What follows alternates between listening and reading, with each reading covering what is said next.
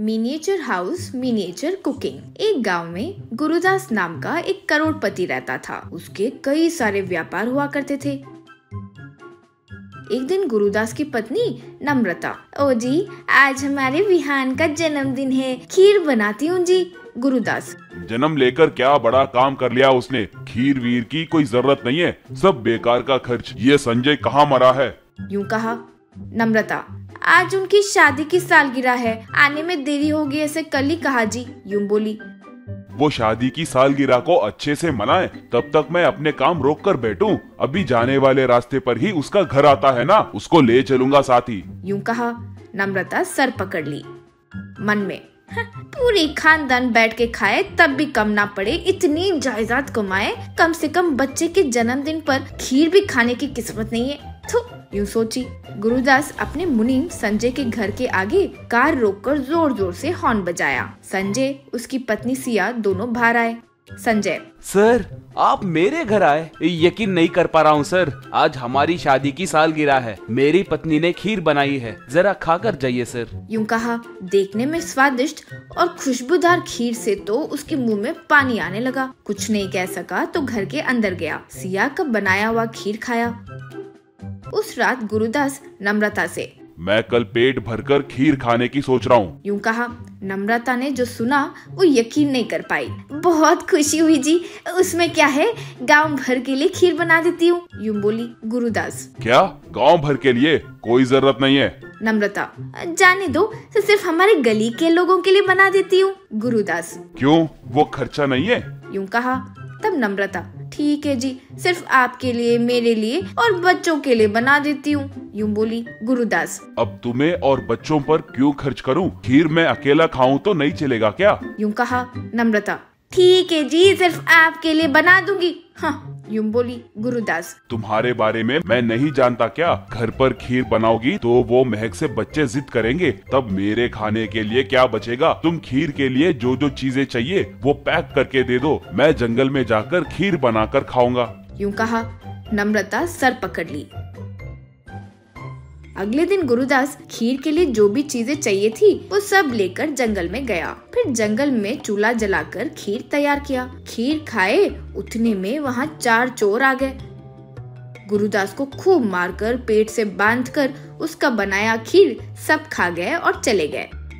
गुरुदास क्या करे समझ नहीं पाया। एक तरफ़ से भूख तो दूसरी तरफ़ से चोट का दर्द बर्दाश्त नहीं कर पा रहा था। इतने में वहाँ एक लिलीपुट आया। गुरुदास को देखकर अरे, आप कौन हो? शरीर पर ये चोट कैसी? यहाँ पास में ही मेरा घर है। चलिए, चलते हैं। कहकर गुरुदास को बांधी हुई रस्सी खोला। गुरुदास को अपने घर ले गया। वो छोटे से घर को देखकर गुरुदास आश्चर्य में था। वो बहुत प्यारा सा था।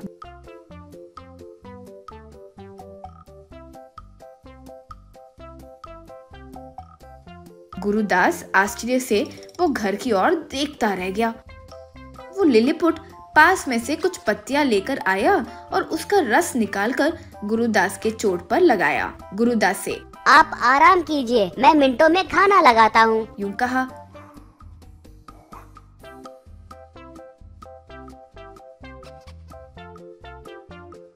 लिलीपुट चूल्हा लगाया। जरा सी आग की आँच पर छोटे छोटे बर्तनों में अलग अलग प्रकार के पकवान बनाने लगा। गुरुदास उस लिलीपुट को आश्चर्य से देखता रह गया। गुरुदास जब देख रहा था तो वहाँ mini pizza, mini egg biryani, chicken leg pieces Manchuria ऐसे अलग अलग पकवान परोसा गुरुदास को भोजन के लिए बुलाया गुरुदास लिलीपुट से। मैं ज़िंदगी में करीब हज़ार करोड़ तक कमाया हूँ लेकिन इतने प्रकार के पकवान को आँखों से एक साथ कभी नहीं देखा। आप मिनटों में इतना कुछ बना दिए। आपके पास कितने करोड़ का जायदाद है कि जिससे भी कभी जान पहचान नहीं थी उसे लाकर इतना खाना परोसे। तुम लोग क्या रोज इतना खाना बनाकर खाते हो? यूँ पूछा वो लिलीपुट मेरे पास ये घर के अलावा कुछ नहीं है। यूँ कहा गुरुदास। तो फिर आपके पास कुछ पुश्तैनी सोना या जेवर है क्या? तब फिर से लिलीपुट उतने हज़ारों करोड़ हमारे साथ ऊपर आते हैं क्या? या कभी हम उससे अपनी भूख मिटा सकते हैं? मैं ये जंगल में दवा बनाने के लिए जड़ी बूटियाँ इकट्ठा करके उन्हें बेचकर पैसे कमाता हूँ। हम जो कमाते हैं, वो खाने के लिए ही तो होता है। जिस दिन जितना कमाओ, उतना खाना खा सकते हो। मेरी किस्मत अच्छी थी तो आज ज़्यादा पैसे मिले। इसलिए आपको पेट भर कर खाना परोस पाया। यूँ कहा, गुरुदास को ऐसे लगा जैसे किसी ने उसे एक झटका दे दिया। उस लिलीपुट के आगे हाथ जोड़ा। उससे परोसा गया खाना खाया। गुरुदास घर जाकर नम्रता से जो हुआ वो बताया। दिन ब दिन जड़ी बूटी बेचकर जीने वाला छोटा सा इंसान मेरे लिए इतना कुछ कर सका तो मैं इतना कमा कर क्या क्या करना चाहिए? इतने समय तुम्हें और बच्चों को पेट भरकर खाना भी नहीं दिया और परेशान किया। कल से रोज हमारे घर पर अन्नदान होगा। जितने लोग भी खाना चाहे खा सकते हैं। यूँ कहा। गुरुदास में आए इस बदलाव से नम्रता बहुत खुश हुई।